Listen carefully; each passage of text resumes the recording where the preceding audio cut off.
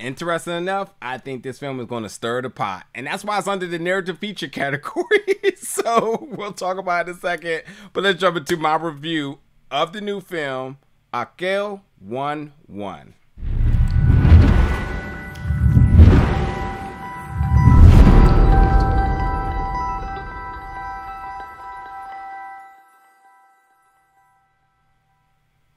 What's up, folks, and welcome back to the channel today for another review. And today we're reviewing the film Raquel 1 1, making its world premiere at South by Southwest Film Festival 2022.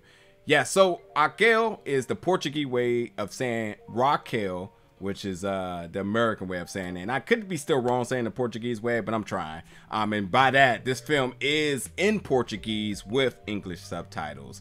Um, but we'll go with Raquel to make sure I'm correct because I can definitely say that um, is a interesting story. So it's Raquel 1 1, which by Bible, if you know verse 1, chapter 1 is what this title is, is doing. Um, is a interesting story that again I think is going to stir the pot. Because to me, the first thing I thought about was like, oh, this is challenging religion. That's not a very. Uh, sometimes that could be very controversial, but I think a lot of people are going to relate to it to an extent. But like, it's not really just the idea of challenging religion. I think it is trying to, um, I, I at least for me, I feel like that this film is trying to tell you about when you feel a calling to kind of go with it, despite what everyone else may think or feel or see.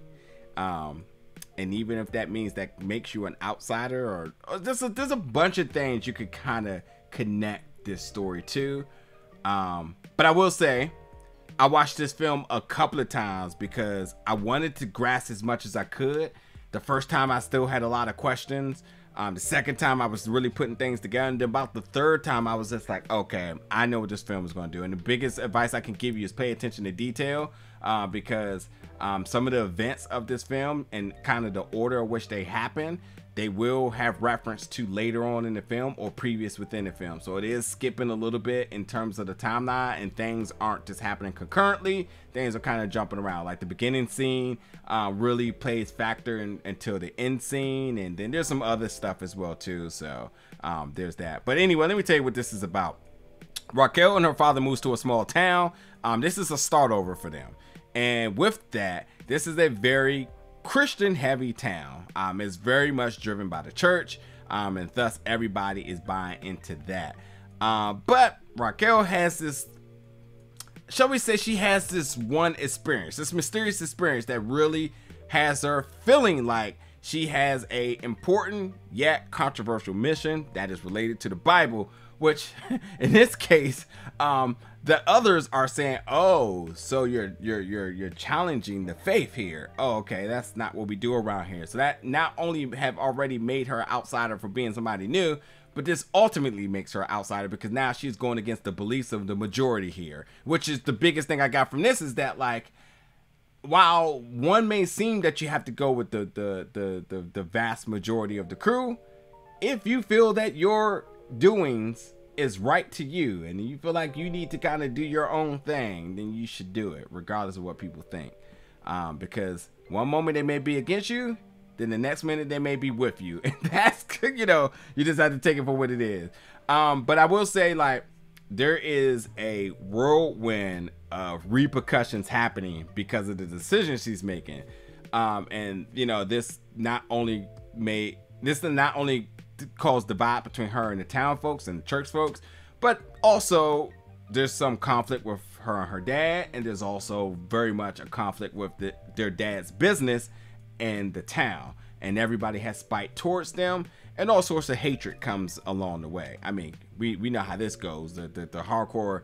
Um, religious people and I, I, kept saying christians but i'm not even really sure uh, but the hardcore religious people are definitely like hey pitchforks graffiti, vandalism, whatever it may be, get them out of here. Like it, it and, and like that's really I don't I'm just keeping my mouth closed. but um, you know, the, the the the film itself has a lot of mystery to it, and it is a lot of putting the pieces of the of the mystery together.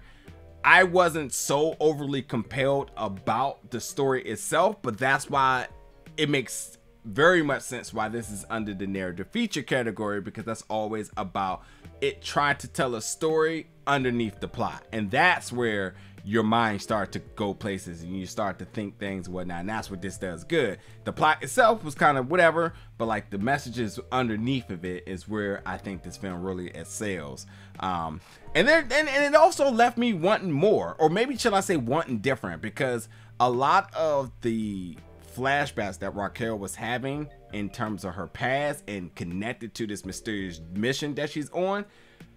This audio that's going through her head, I start to wonder and I start to think visually what was happening to a point that I wish we could have kind of seen some of those events played out because I think that would have really elevated a lot of the scenes that are happening especially because some of them seem kind of tragic, kind of brutal, um, and definitely a lot of horror elements to it.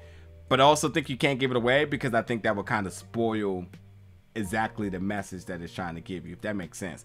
But yeah, like I said, at times the film does feel eerie, it does feel creepy, but it never is over the top in any element. Um, and I think that, you know, this really becomes the ultimate journey for Raquel who she just discovers more than she ever could imagine, to be honest. Uh, and you know, it's not only about her truth, but like the truth for the ones around her. And this wicked journey, I should I say, is really a it's a self discovery and um being able to kind of cope with the past, but also kind of discovering the past and, and, and maybe, as I said, discovering some truths of things she may not have known about. Um, and again, I, will be the first to say, like, I'm not the most knowledgeable of the Bible, but there's definitely a parallel to a lot of elements to this that are very much stories um, or, or, or comparisons to things that are happening within the Bible. So, um, don't feel tricked when you start to feel certain things or, or feeling a relation to watching some of these things happen to understanding like, oh yeah, this definitely feels like something and I think that's on purpose. I think it's I think this this film is trying to be as thought provoking as it can to challenge certain norms um, that you may be accustomed to to really make you think outside the box. Um, because even with the ending here, um, I didn't kind of see it come, going that way, but I kind of gave you a tidbit earlier in this review where one minute they may be against you, the next minute they may be behind you, and I think that you know you kind of see how that plays into play here. Uh, and I will say one thing that is borderline spoiler is Raquel is literally living uh, the pains and the memories and the challenges and the struggles of her mother. Her mother, uh, who, uh, you know, the tragedy that she went through.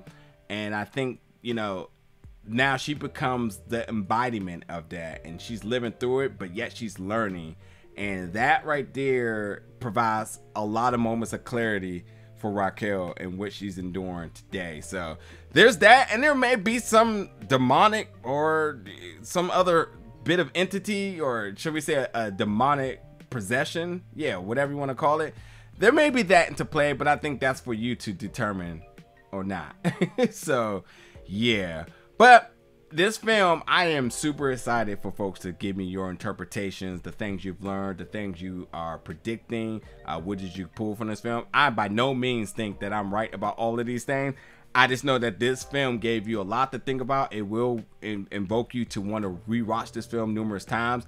Um, in terms of the films, I thought the performances was good, especially with our lead who plays Raquel.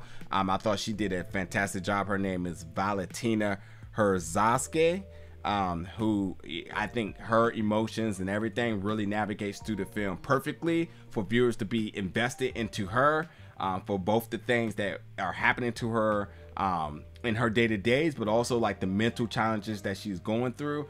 And there is a lot of like, I, to me, I think there's a lot of different. Um, there's there's a lot of uh, of, of different uh, things that she goes through. I'm trying to figure out how to not like give spoilers here. But I, I, think there's a lot of different things she goes through that one may be able to connect with that you may find yourself thinking that you may have been Raquel at some point in your life. And that is a very kind of scary thing. But you, you, you, you'll see what I mean. Uh, but yeah, check it out. Jump in the comments. Let me know your thoughts about this. And as always, stay tuned for more reviews very soon.